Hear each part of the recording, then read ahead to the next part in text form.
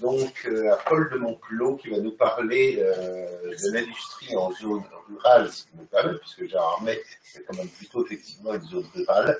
Et donc, je laisse, je, laisse, présenter effectivement Garnier Thibault et sa société, ainsi effectivement que la façon dont il a, dont au-delà de ça, le textile est complètement reparti grâce à lui dans les Vosges. Est-ce que, je, est-ce que vous m'autorisez à dire mon admiration à cette magnifique marque qu'est Garnier Thibault C'est moi qui mets souvent euh, les belles nappes sur ma table. Ah bah, j'ai bien fait de rester parce que j'allais vous laisser pour entendre ce beau compliment. Euh, non, je suis très embarrassé parce qu'effectivement, euh, j'ai une visio qui doit commencer maintenant. Euh, donc je vais faire extrêmement vite. Cette visio, d'ailleurs, elle est un peu l'illustration de ce que vous avez dit jusqu'à maintenant. Il y a quelques années, on n'aurait jamais pu envisager de travailler en visio avec l'autre bout du monde. Euh, cette visio, elle est euh, avec un palace qui veut nous passer une commande euh, et qui se situe à Dubaï. Donc euh, voilà, et comme ils ont euh, trois heures de décalage horaire, je peux pas leur permettre de me décaler trop trop longtemps. Donc je vais être extrêmement bref en vous remerciant de nous avoir fait signe.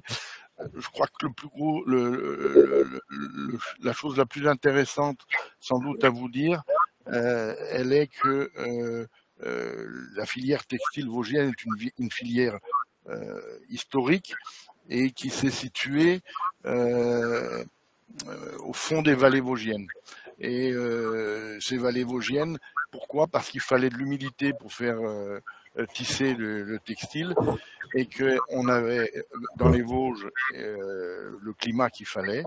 Et lorsque l'électricité est arrivée dans, les, dans les Vosges, ben, très vite les usines, les métiers à tisser sont descendus des, euh, euh, des fermes dans les vallées et dans les fonds de vallée, parce que c'est là qu'il y avait la, les, euh, les chutes d'eau qui ont permis de générer l'électricité nécessaire à, faire tourner ces industries.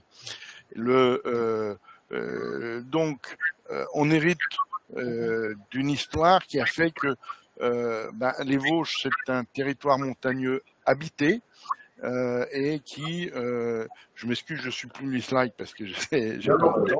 Euh, donc, euh, on est dans un territoire montagneux habité et les usines, les industries, notamment textiles, sont dans les fonds de vallée. Euh, donc, ça veut dire quoi? Ben, Qu'on n'a pas de train, pas de bateau, et on a plus de radars que de relais téléphoniques euh, n'en déplaise ce que je viens d'entendre. Et donc, euh, on est obligé de se baser pour se défendre euh, sur euh, ce qui fait des vraies valeurs, euh, des vrais, des, vrais engagements. Et ces engagements, ils reposent sur notre savoir-faire. Euh, pourquoi on existe encore? Pourquoi nos clients acceptent de payer des produits plus chers euh, que euh, des produits grand import? C'est parce que derrière, il y a un vrai savoir-faire, qui a été acquis au cours des années et qui se délocalise pas forcément facilement, avec certes une valeur forte qui est, enfin une matière première forte qui est l'eau, euh, euh, avec toutes les incertitudes qu'il y a avec le réchauffement climatique. Donc tout ça pour dire que euh, nous on est vraiment confrontés au problème que vous évoquez, c'est-à-dire de maintenir une activité dans des, vallées peu desservies, relativement enclavées, n'oubliez pas que les invasions arrivaient par l'Est, encore vrai aujourd'hui, mais donc on n'avait pas construit de, passage dans, euh, pour la circulation. Et donc, euh, très clairement, euh, le challenge que nous avons à la date d'aujourd'hui pour maintenir nos activités, c'est de maintenir le savoir-faire, donc maintenir la formation et maintenir des jeunes. Et ça, c'est un vrai challenge parce qu'il se trouve que dans les Vosges, on a bénéficié à fond euh, du, du tourisme, euh, euh, même un peu avant le Covid, mais renforcé par euh, les, la situation Covid, ce qui fait que euh, les villes comme Gérardmer sont devenues extrêmement touristiques et avec un boom de l'immobilier qui mettent en difficulté les jeunes C'est-à-dire qu'on n'arrive pas à accueillir des jeunes euh, et qui ne peuvent pas se loger. Ça va du stagiaire à l'alternant ou au néo-professionnel. Et c'est un vrai souci puisqu'ils sont obligés de faire des kilomètres pour trouver euh, un logement à peu près correct. Alors oui, la vie est sympa, mais euh, euh, les contraintes kilométriques du moment avec euh, le coût de l'essence euh, fait que on a du mal à, loger localement des jeunes, on a du mal à loger des, des, salariés et qu'ils sont obligés d'aller loin et ça coûte très cher. Donc on est confronté au fait que pour maintenir une, usine dans les Vosges, il faut euh, maintenir du savoir-faire, il faut maintenir des, infrastructures. Vous parliez de, de fibre à titre personnel.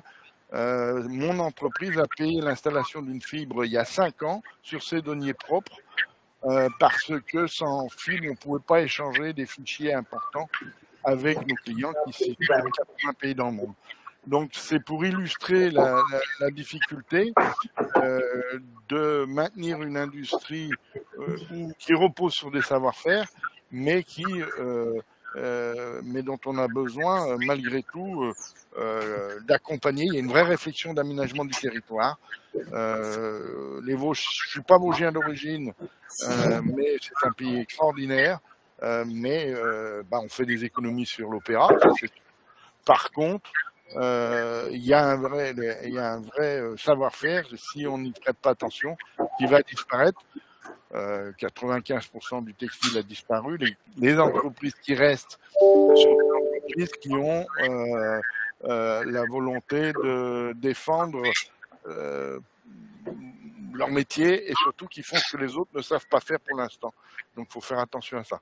Je suis désolé, je suis obligé de vous laisser. Euh, ma, ma secrétaire vient de me dire que la, la visio avec le Moyen-Orient avait démarré. Donc, euh, j'aurais beaucoup, beaucoup d'autres choses à vous dire.